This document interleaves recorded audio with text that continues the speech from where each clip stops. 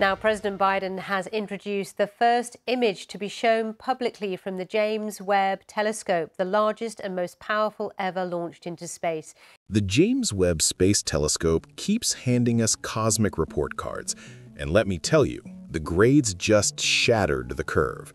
It's not just a minor adjustment, it's a cosmic wrench thrown into our understanding. Galaxies that look older than the universe itself are showing up in every deep field we take. This isn't just an anomaly, it's a paradox staring us in the face. Either our cosmic stopwatch is broken, or the Big Bang was not the first day of school. What if the story of our universe, the one we've held for decades, is simply wrong? Let's talk about the specific culprits. Look at JADES-GS-z14-0. Its redshift is about 14. For context, that means we're seeing it just 290 million years after the nominal Big Bang, a mere blink in cosmic terms. Yet, its starlight is already rich in heavy elements. Its mass rivals today's Milky Way globular clusters, and it is pumping out ultraviolet light like a galaxy that has had billions of years to bulk up. It's like finding a fully baked, multi-layered cake just moments after the first seeds of wheat were planted. Then there's MoM-z14, another spectroscopic heavyweight.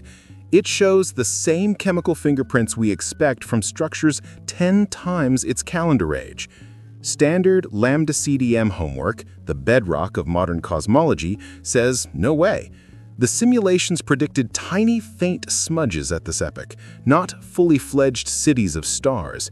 Webb isn't finding one outlier. It is finding dozens, then hundreds. This isn't a fluke. The anomaly is trending.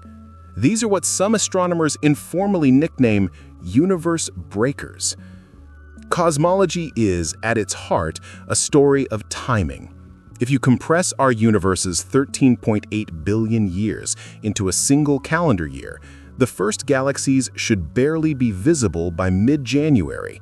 Instead, Webb is handing us glittering galactic metropolises before New Year's brunch. This forces two ugly, unsettling questions. Did structure formation cheat the speed limit? Or did the cosmic clock start earlier than we thought? Either option rewrites the textbook.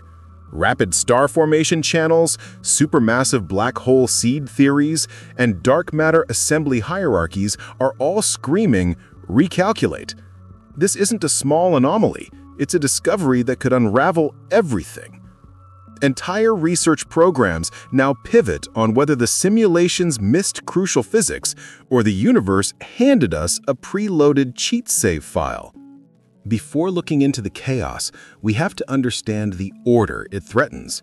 Picture everything matter, radiation, space, time packed into a single, ridiculously hot point. Then it expands. Think of it less like an explosion and more like a loaf of raisin bread rising in an oven. The dough is space itself, and as it expands, the raisins, or galaxies, are all carried away from each other.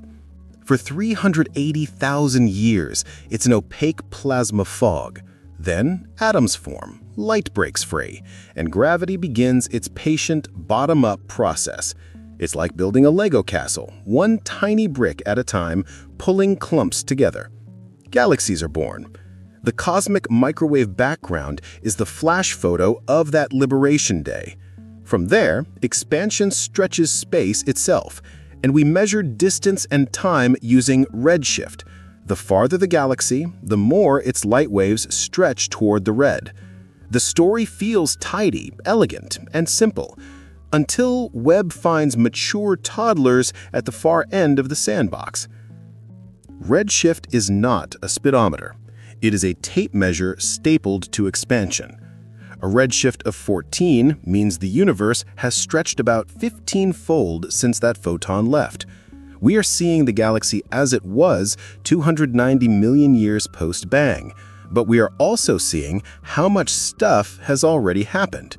The profound surprise, the true impossible part, is the chemical richness. Stars fuse hydrogen into helium, then helium into carbon, nitrogen, oxygen. To get nitrogen to carbon ratios like MoM-z14s, you need multiple generations of stars living, dying, and spraying metal-rich ash into the next stellar nursery. That normally takes giga-years, not mega-years. It's like exploring the first hominid settlement and finding a skyscraper with the lights on. Either the first stars formed insanely early and died in a flash, or the universe recycled material from a previous epoch. What if the Big Bang was not the starter pistol, but merely a relay handoff? This question leads us to some truly radical theories. Cyclic models propose an endless succession of expansions and contractions like a cosmic lung breathing in and out. Each cycle ends in a crunch or a gentle turnaround and then bounces into a new Big Bang. This Big Bounce concept suggests our Big Bang was not the beginning, but a transition point in an eternal cycle. Early versions of these models struggled with a fundamental problem, entropy. Every lap adds disorder, making later cycles longer and bigger, eventually leading to a universe too dilute to form new structures.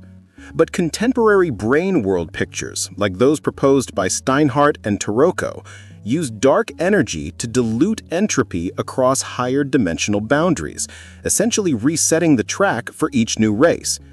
Under this view, the supposedly impossible galaxies could be relics, structures that formed in the waning eons of a previous cycle, survived the bounce, and simply kept growing in the current round. Roger Penrose, a Nobel laureate, tweaks the rules even further. In his Conformal Cyclic Cosmology, CCC, the far future of one eon, when all black holes have evaporated and only massless radiation remains, geometrically resembles the Big Bang of the next eon. Because massless particles do not experience time the way we do, the infinite stretch of one eon can be conformally stitched to the compressed birth of another.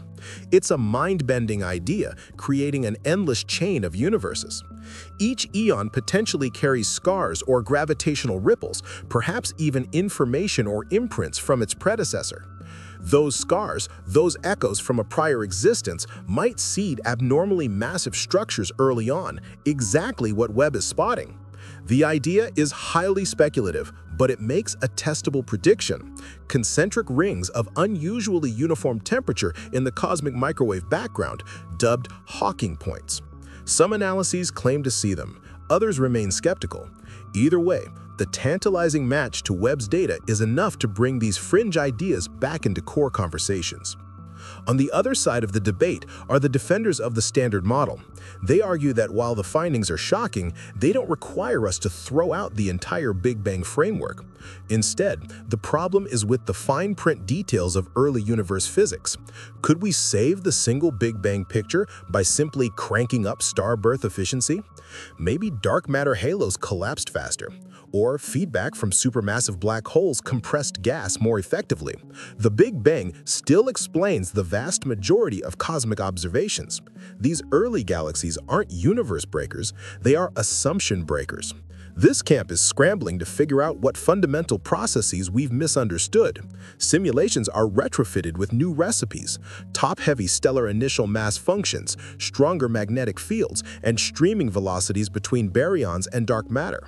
A particularly tantalizing idea is that primordial black holes, existing from the very earliest moments, could have acted as gravitational seeds. While gas would have pulled together slowly on its own, these pre-existing black holes would have been cosmic magnets, rapidly pulling in vast amounts of gas and accelerating the formation of the first stars and galaxies around them. Early results can grow bigger galaxies faster, but they still lag the observations by factors of 3 to 5 in mass and metal content. The ball, for now, is back in observers' court, find still earlier, still weirder galaxies, or refine the physics until the simulations reproduce reality. Every time we redraw the timeline of the cosmos, we also redraw the odds of existence. This isn't just arcane astrophysics, it's a cultural inflection point as profound as Copernicus moving us out of the center. If cycles stretch backward forever, personal notions of beginning evaporate, and our current universe is just one verse in an eternal refrain.